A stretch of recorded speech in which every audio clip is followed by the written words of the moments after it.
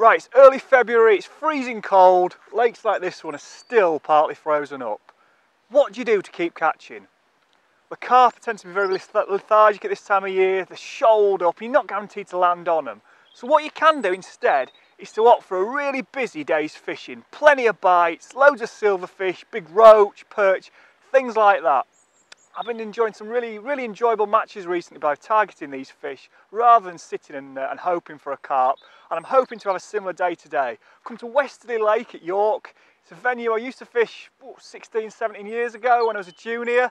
And I said, I've not been since. I just had a tip off the other day from a friend of mine, Bob Roberts, who came here and had a massive bag of silverfish. It was a bit warmer than this, granted, but uh, he had a real, real nice set of fish and some big perch as well. So I'm going to give it a go today hopefully see what we can catch. Got loads of baits to try. I'm going to run through a few different lines which we're going to fish to and I can't wait to get started. Let's get going. First line I'm going to talk about fishing for commercial silverfish is a short pole.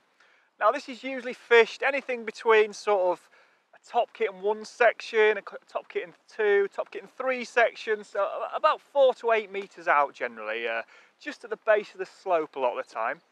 And what you, what you can do with this line is you can loose feed it and it's very, very good line for catching things like roach and ide, species which are going to come to loose feed, loose baits generally, not, not so much ground bait. So what you do is, basically it's, it's a good line to start on just to gauge what's in your peg. And you can loose feed it by hand, just with like maggots or casters, things like that, and build it up this is it's about sort of westerly lakes. It's, it's probably about four and a half five foot deep here. It's only marginally shallower than much further out so we're fishing in almost the deepest water but on a short pole. And this is a great place to start while you, while you let your other sat lines such as your skimmer lines longer settle. Let's say you build it and build it up and it should get better and better as the day goes on. Okay the next line I'm going to talk about is my skimmer line. This is generally on a much longer pole, about 13, 40 metres out, well out into the lake. Because you find with skimmer bream in the, in the colder months, they tend to sit a lot further out. They tend to feed confidently in the, in the deepest water, put, put a bit of distance between yourself and the fish. And um, what I usually do with this, I'll feed it with ground bait. I might even feed it if it's going to be hard or if you know, if, if, you're going to keep swapping lines and things, I might feed two of these lines, but just to keep it simple today, I'm just going to feed the one. I'm going to feed it with ground bait to start with and let it settle. Worst thing you can do with skimmer bream is to go straight in after them because what you'll do is put your ground bait in, bang on the top, you might get a couple of them, but you haven't given the, the shoal time to settle and kind of graze over your bait, so generally you, they'll spook uh, after a few fish. Whereas by putting your bait in, letting it settle for say 45 minutes, an hour, then going in, you've given the fish, fish chance to settle and you'll generally catch a lot more of them. Right, the final line I'm going to talk about is the edge. Now, this can be good, uh, especially for roach and things, sometimes or big roach if you've got a bit of depth and things, but this, this lake in particular is noted for some massive perch, so we're going to have a bit of a cheeky look for them a bit later, hopefully. Um, got some down this edge where we've got a few rushes and things. There's a good depth of about three and a half foot, you know, so there's a good depth there for the fish to, uh, to sit in. We've got a few interesting baits as well with us, such as prawns and lobworms and things, which tend to work well here. So we're going to give them a go. Big baits, big selective baits for the perch, and see what happens a bit later, hopefully. Just going to quickly talk you through my skimmer mix. Basically quite a dark mix because it's still clear the water, still very cold water. I've got Swim Stim Black, great all around ground bait for this time of year. I've used it for absolutely donkey's years. And I've also got some Swim Stim milled expander because I love to put expanders in my uh, ground baits for skimmers and F1s and things because I just think they absolutely love it. So it's important, as I say, swim stim, it's quite a sticky ground bait. Uh, it can be made into a paste and things when it's mixed wet. So it's important to use another kind of component with it just to let it break down a bit. What we're going to do, because I want to target skimmers on that line, I want to try and avoid roach a bit and keep the roach in the closer lines. I'm going to put some pellets in so I'll probably put a third of a third of a cup of pellets into a into a corner where I'm going to make the ball. I'm also going to put a good handful of casters in there as well. So those are quite inert, inert baits which are going to go straight down not break the ball up. It also gives me the option to fish pellets as well. If I get pestered by nuisance fish, I can use expander pellets on the hook. Okay, so I'm just going to make a single big ball out of this because it's frozen today and I'm not really sure how it's how it's going to fish and things are not fish, fished here for so long, I'm going to err on the side of caution. You can put a lot more bait in for skimmers if you expect a load and sometimes that's an advantage because it means you don't have to top up so quick. But I'm just going to go for the one big ball packed full of pellets and casters today, see how that goes, leave it an hour, see what happens.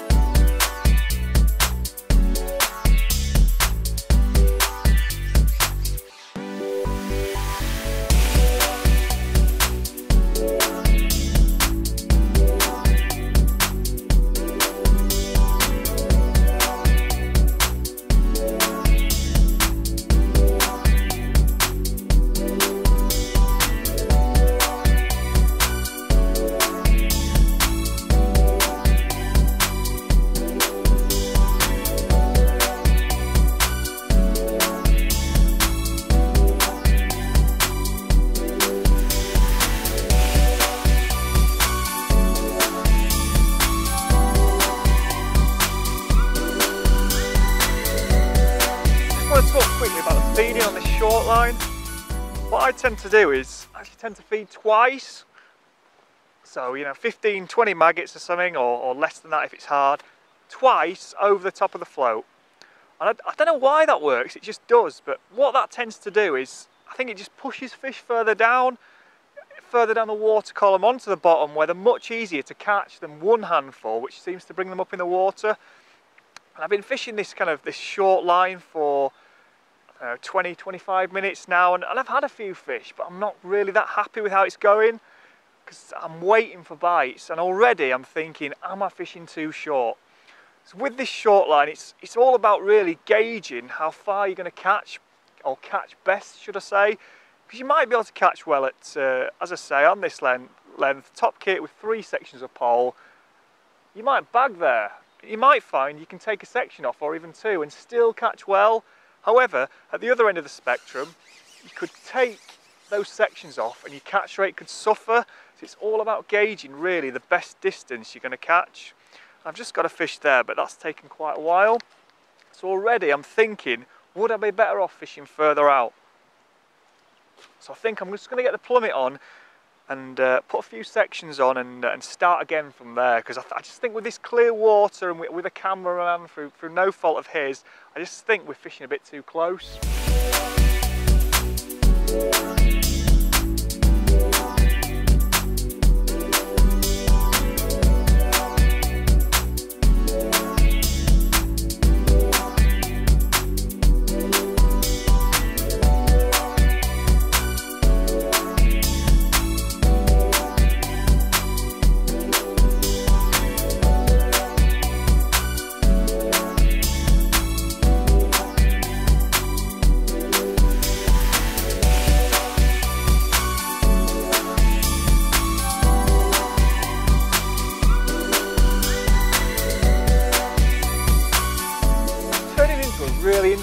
Session out here at Westerly Lake. Gone a bit further and instantly it's been better.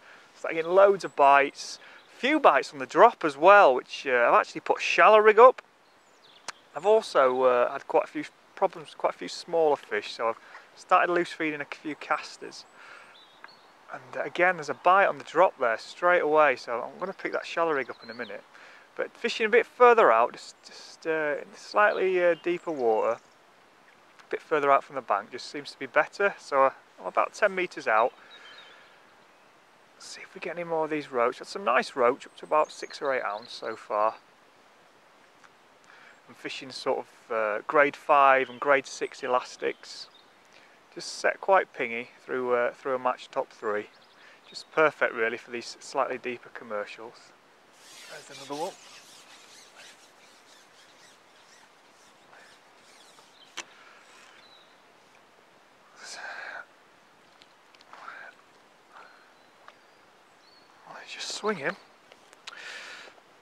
I also use, um, notice I've got a puller in. Even though I'm using fives or sixes elastic, I still use a puller on commercial fisheries. This is a puller bung, purely for the fact that you sometimes get carp and on bigger fish and uh, if you haven't got a puller in, you're going to be there with sort of top fives, top sixes of pole up in the up in the air like that. It's going to be a nightmare. So always use a puller on commercial fisheries. Great bit of kit.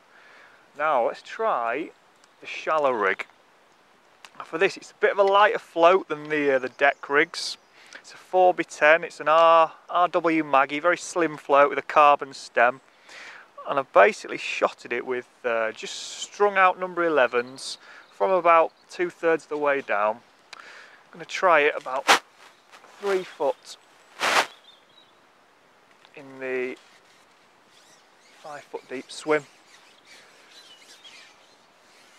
Just going to lay the rig in horizontally because I'm fishing shallow and just hold on to it as I fire out some bait.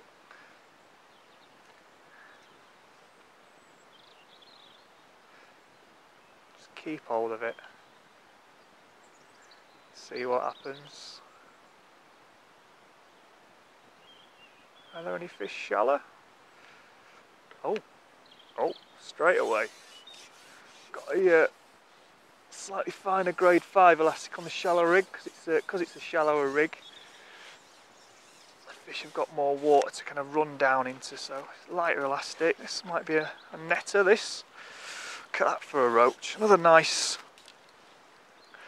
beautiful condition commercial fishery roach here at Westerly Lake.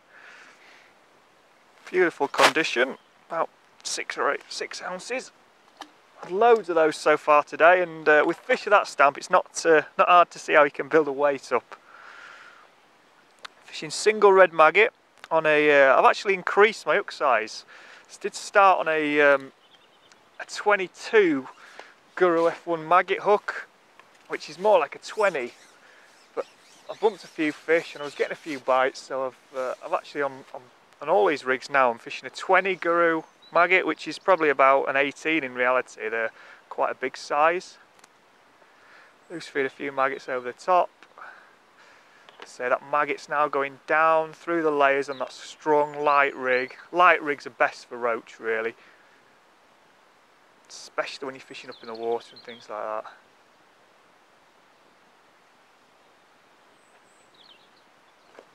Oh, there's another fish slightly smaller this time.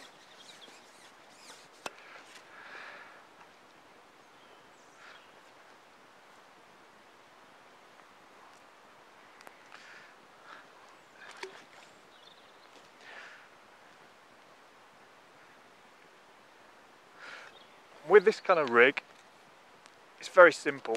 If you're missing bites, you come up in the water so you take some uh, depth off. If you're not getting bites, you simply go a bit deeper.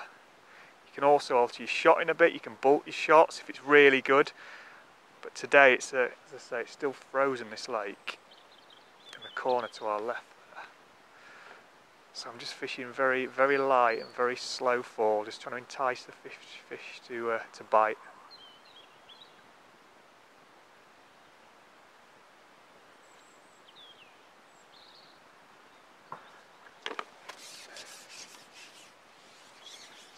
Crazy really that we're catching catching shallow like this on the February day when it's frozen.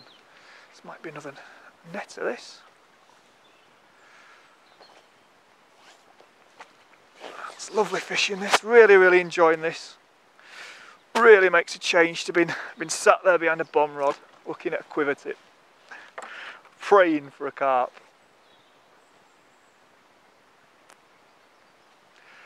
What I'm going to do as well in a minute because we've left that skimmer line for an hour, I'm going to have a look on that skimmer line and see if anything's moved over that ground bait as well.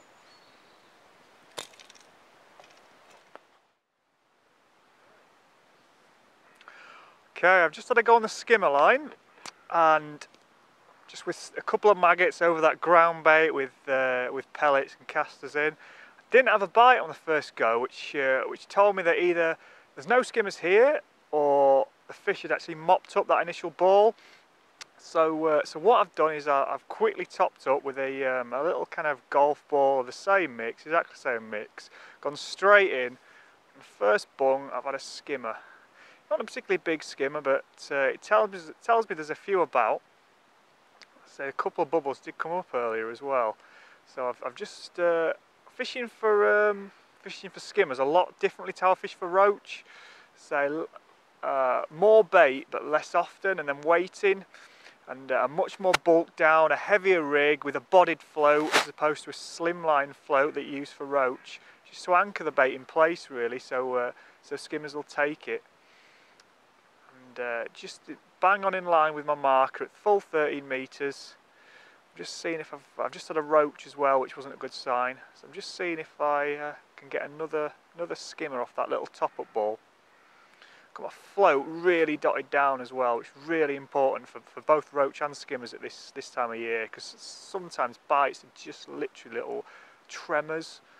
Don't even take your float under, so it's very important to uh, to do that. Got a couple of back shots on above the float, number 11s, just strung out about 6 inches and, and 10 inches above the float, just to uh, hold it in place as well. Just anchored a few, few inches over depth, as opposed to just tripping for roach. Seeing if there's another skimmer there, but oh, a bit of a lift there. There we go. That feels skimmery. There's a lift bite that. And again, it's it might be a roach.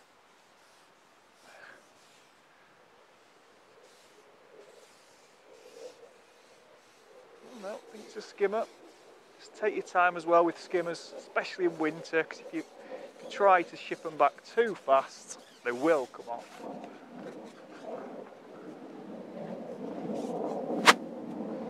Alright, what we got here? Yeah, another skimmer. There we go.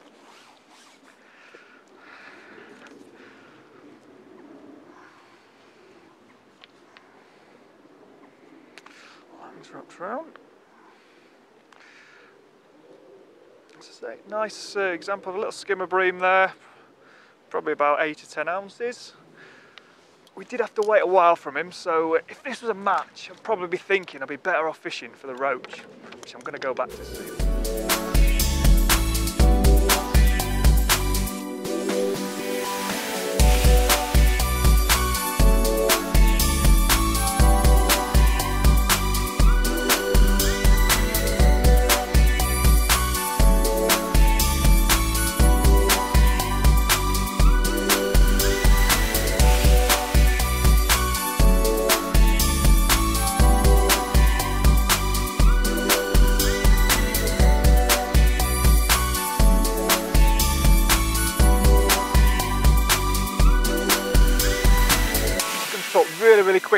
I've used today. For roach, on the bottom, up in the water, it's an RW Maggie slimline float with a carbon stem. So it's very, very slim, not much resistance, and you can fish it through the water as that carbon stem comes down to settle. You can see any bites.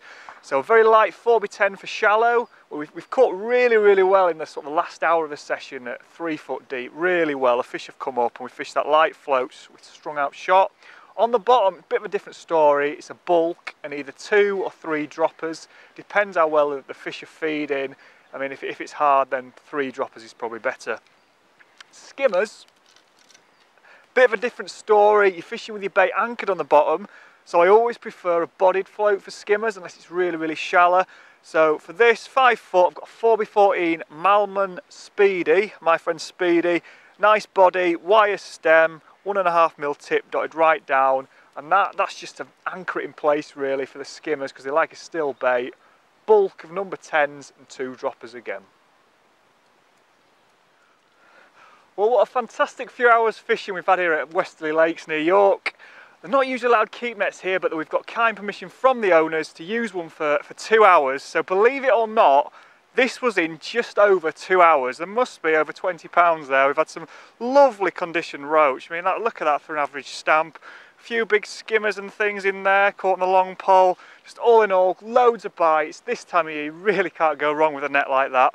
So just put the tactics I've, uh, I've, I've detailed today into practice. Maggots and casters loose, fed slightly shorter, ground bait a bit longer. You can really bag up with a lovely catch of fish like this on a winter's day.